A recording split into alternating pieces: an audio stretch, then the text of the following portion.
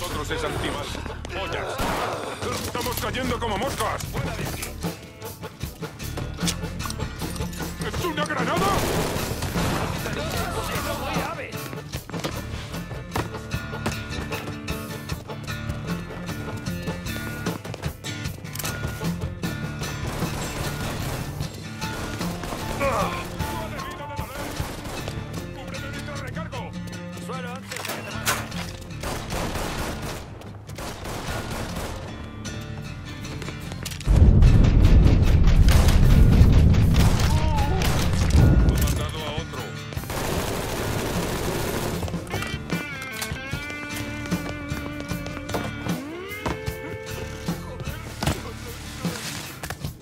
¡Hay que cubrirse!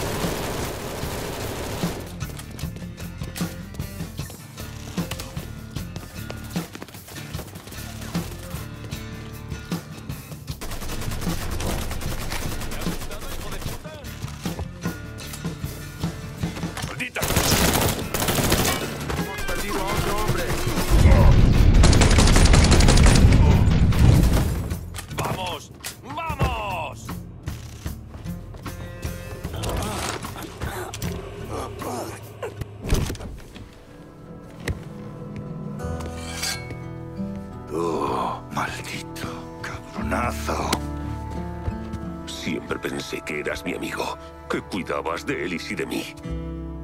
Pero nos estabas engañando. No me mataste porque me negase. Me mataste porque creías que eras mi dueño, el dueño de todos nosotros. Nunca fue por nosotros. Fue por mi viejo. Mi padre. Haría cualquier cosa por él. Igual que Sammy y tú. Entonces entiendes por qué tengo que hacer esto.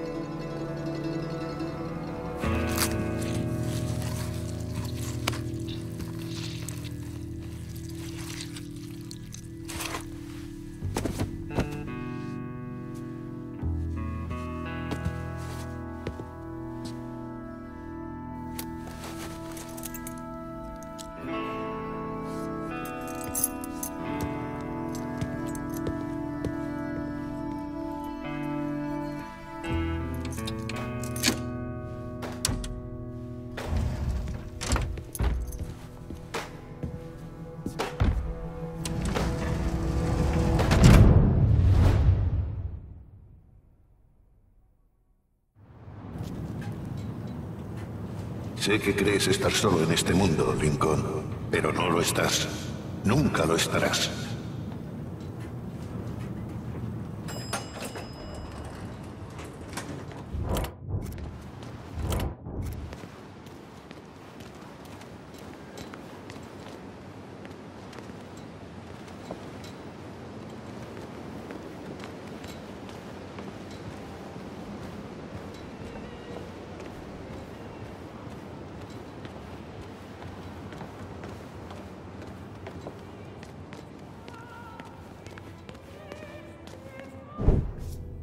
Vaya vista, ¿eh?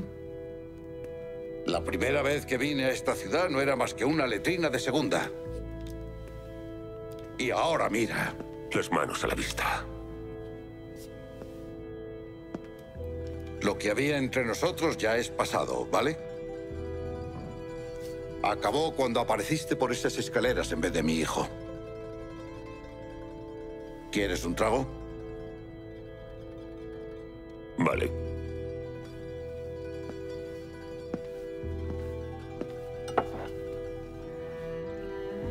Me lo han traído desde Escocia. Puro de Malta. Soy más de Bourbon, pero quise encargar algo con más clase para la inauguración del casino. Pero ahora no parece que se vaya a celebrar, ¿no?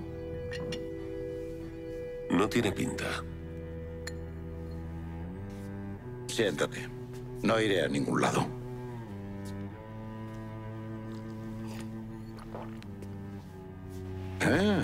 No está mal. Prefiero el licor casero.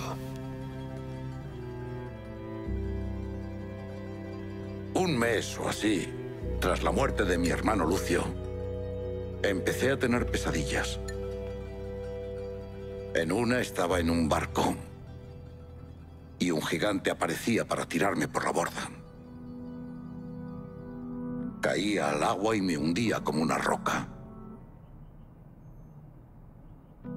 Y había otra donde unas serpientes no paraban de picarme. Pero ¿sabes cuál me alteró más? La del funeral. George iba en un ataúd de mierda.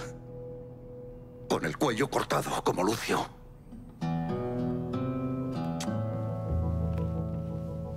Sí, esa me afectó. La tenía cada tres o cuatro días. Yo tengo una en la que vuelvo a estar en Vietnam, durmiendo en una trinchera. Y de repente aparecen unas figuras oscuras entre las sombras. Intento resistirme, pero me sujetan y me atan las manos. Me meten un trapo embarrado en la boca para que no grite, para que no avise a los hombres que duermen a mi lado. Y escucho cómo mueren todos esos hombres. Apostaría a que no te será fácil olvidarla. No. Seguro que no.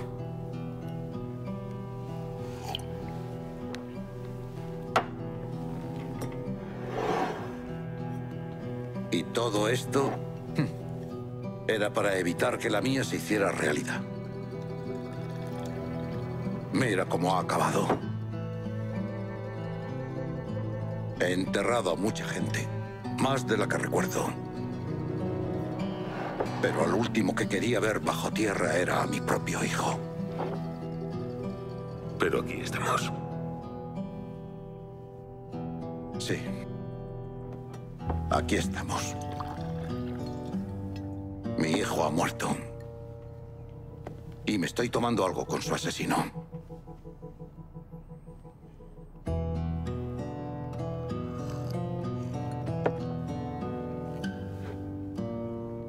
No voy a disculparme por lo que hice, ¿comprendes? Si lo hiciera estaría mintiendo. Yo no me avergüenzo de las cosas que hago a los demás. Nunca. No he venido buscando una disculpa. No, lo sé.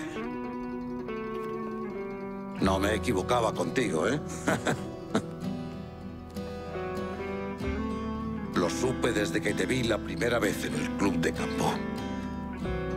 Los hombres como nosotros estamos mal hechos. Solo sabemos de una cosa. Y somos los mejores.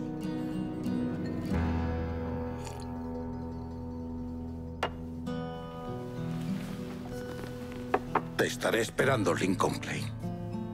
No será la última vez que nos veamos. Lo sé. ¿A qué esperas? Hazlo de una puta vez.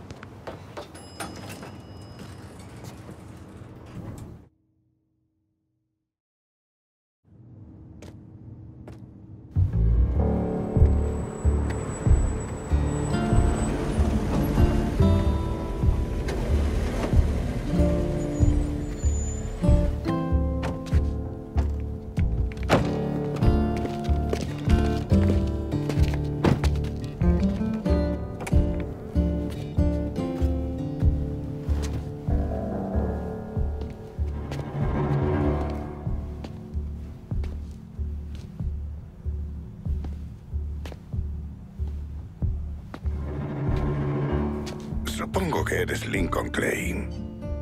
Eso me han dicho. Le dije a Sal que este puto casino iba a ser su perdición. Lo dije metafóricamente, pero... Estas cosas se acaban volviendo contra ti, ¿verdad? Especialmente si cabreas a quien no debes.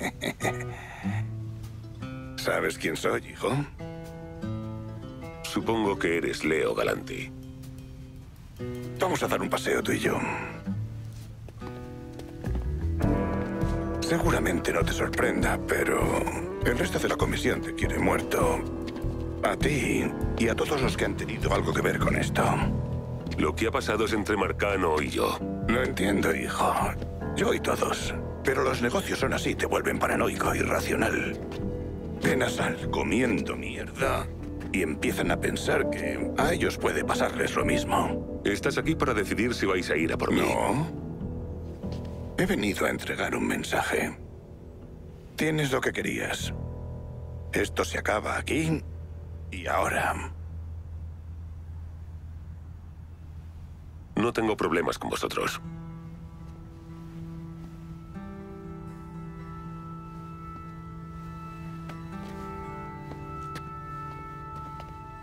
Sal pasaba al mes un 20% de sus ingresos. En efectivo. Lleva entregándolo el mismo hombre, no sé, 20 años. No hay necesidad de cambiar, ¿no crees? No, señor. A cambio, dirigirás los asuntos como quieras. ¿Quieres vender heroína? Poner una casa de putas en cada esquina a mí me la trae floja. Lo único que importa es el 20%. ¿Y qué si decido marcharme y dejar todo atrás? Entonces será la última vez que nos veamos. Sí.